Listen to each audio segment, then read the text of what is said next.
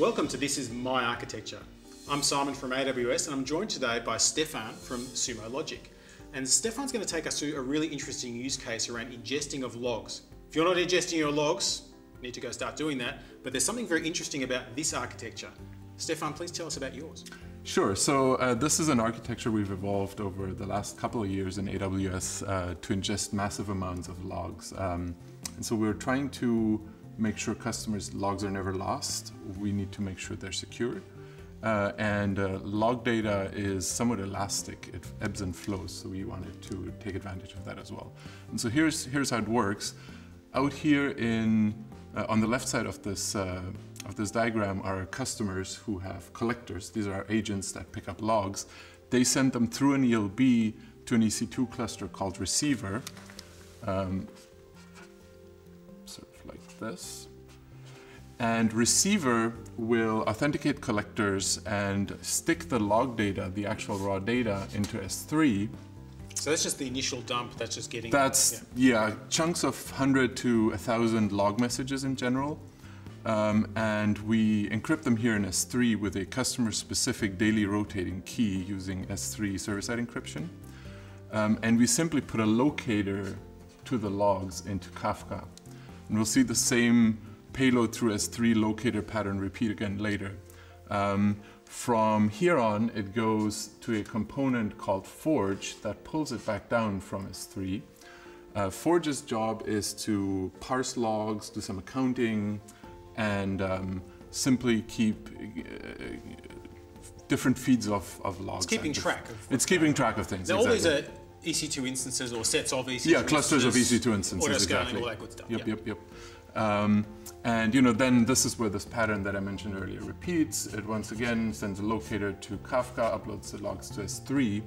Um, one notable thing that Forge does is to uh, actually do the counting of how many logs customers have sent us, right? So we charge customers by daily ingest. And we need to be very accurate and, and uh, responsive in, in um, keeping track of the ingest. Uh, and we use DynamoDB's um, atomic updates, uh, atomic counters uh, to implement that. So once a minute, each one of the Forge nodes sends an update into DynamoDB saying, for customer X, I've received 700 megabytes. For customer Y, I've received 20 kilobytes and so forth. And Dynamo, because it has the uh, ability to do atomic adds, basically across the whole cluster, sums it up for that day for that customer. It crews it for you. So you, have taken really that complexity and logic of having a, a clustered system with distributed yeah. data. This is fire and forget. And said, hey, Dynamo look after it, and obviously low latency, scalable. Yep. You're not really worried about getting big. Yeah, and it, this this was. I implemented this in a couple of days. It was super easy to do. Nice. It, was, it was beautiful. So where do we go from there? Um, so from there, the logs actually fork into two different paths right? So the first path is what we call CQ for continuous query. Um, that system uh, renders our real-time dashboards. So uh, low latency dashboards that you have on a TV on a wall somewhere. Um, that occasionally snaps, uh, snapshots out the state of the dashboards into S3 so that it can recover. Um, but that, uh, I would call that a dotted line. It's not sort of not every log ingest causes that to happen, right? The other path is feeding our search subsystem uh, called the indexer. So the indexer sticks the logs into S3, uh, in, into Lucene indices that it then pushes out to S3 and our search fleet, which is a whole nother, you know, whiteboard full of stuff, um, pulls it back down from there. And again, in, in all of these cases for S3, we use uh, customer-specific server-side encryption.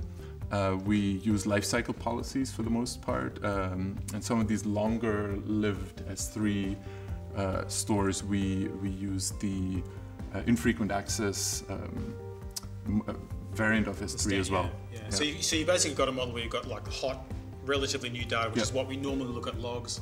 Then you've got the intermediate, then you've got And then the there's a stuff. long tail. Exactly. There's a very strong recency bias in that access pattern yeah. to the point where I think 80% is the most recent hour of data and then it sort of long tails out from there. So there's both a performance and a cost implication yeah. of sending it through those tiers. Yeah.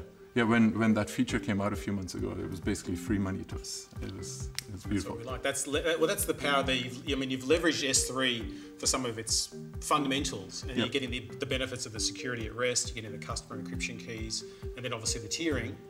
You're saving money, you're getting better performance. And I love what you've done with the Dynamo piece. I think that's really smart work because it means you're simplifying your architecture. Yeah, yeah, yeah. That that was one of the classic examples of, of AWS's uh, power, basically, how quickly we could implement that. that So this is essentially quote unquote infinitely scalable in as much as you can grow it, keep adding to it. And we have. I mean, this has grown over six years from you know a couple hundred gigabytes a day to now this pushes 70 to 80 terabytes a day uh, Uh, of log data through. Fantastic.